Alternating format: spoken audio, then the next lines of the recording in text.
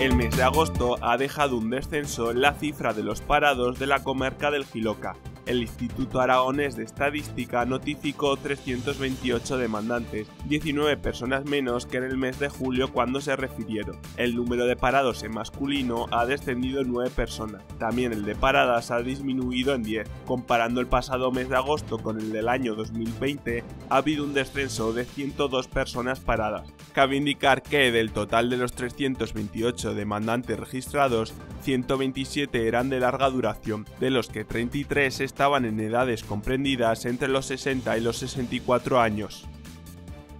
El desempleo ha disminuido en 5 personas en el sector primario y ha bajado en una en el de la construcción.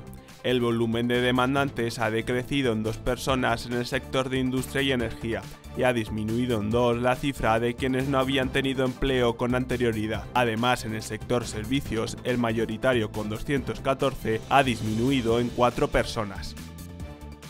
En cuanto a la formación, 93 parados tenían niveles de educación primaria o inferior, 127 con estudios secundarios, 22 con bachillerato, 21 parados con formación profesional media y 19 con superior. Además, 46 superaban la enseñanza universitaria.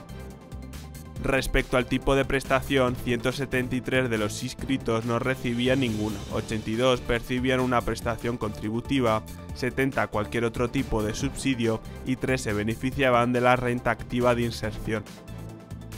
Por último, el puesto de trabajo más solicitado por las paradas era el de profesional de la limpieza, mientras que entre los parados era el de peón de la industria manufacturera en general.